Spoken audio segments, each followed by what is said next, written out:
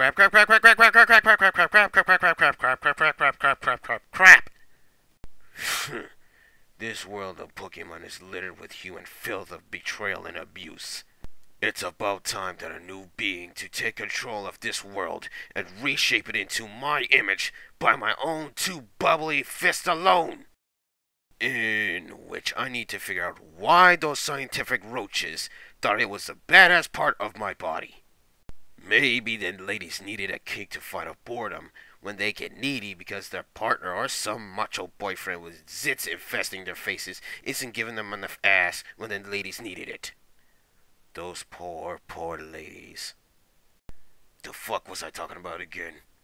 Oh yeah, reshape the world, demonstrate my power to the human filth, and shoving my finger right up a woman.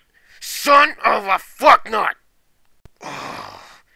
Who the hell put these sick, pervy thoughts into my mind when I was being created?